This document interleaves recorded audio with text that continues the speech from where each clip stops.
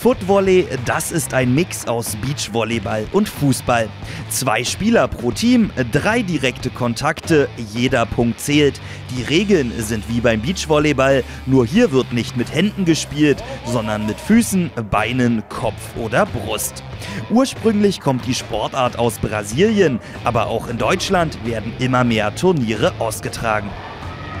Also die meisten haben einen Beachsoccer-Hintergrund oder Beachvolleyball-Hintergrund und äh, viele auch, auch mit der, oder viele der Mitinitiatoren haben Brasilien-Bezug. Also sind selber Brasilianer, waren dort mal zum Austausch, zum Urlaub, haben es dort kennengelernt, die Faszination dort äh, mitgenommen und den Virus mit nach Deutschland gebracht. Und der verbreitet sich zurzeit relativ ja, rasant.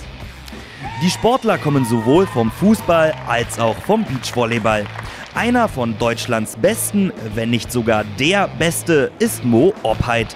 Und der hat eine Vorgeschichte im Fußball. Aktiv war er bei Schalke 04 und Borussia Mönchengladbach.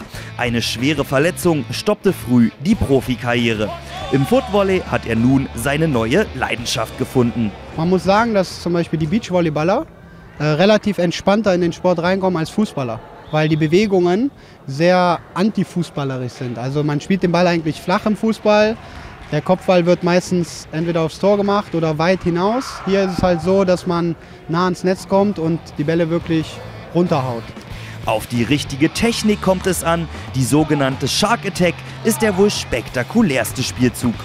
Generell bietet Footvolley lange Ballwechsel und viel Schönes fürs Auge und das macht den Sport so attraktiv. Vor zwei Jahren waren wir zehn Spieler vielleicht und jetzt sind wir weit über 100 äh, mit zehn Clubs in Deutschland. Also einen konkreten Fünfjahresplan haben wir nicht. Äh, wir haben auch keinen Druck und lassen einfach alles auf uns zukommen. Lockerheit und Gemeinschaft gehören zum Footvolley wie die Sonne zum Strand. Das Beste kommt, wie immer, zum Schluss. Man höre und staune, Mo Oppheit war zu seiner aktiven Fußballkarriere kein Spielmacher oder Edeltechniker, sondern er stand im Tor. Kein Problem, auch wenn man beim Footvolley nicht handgreiflich werden darf.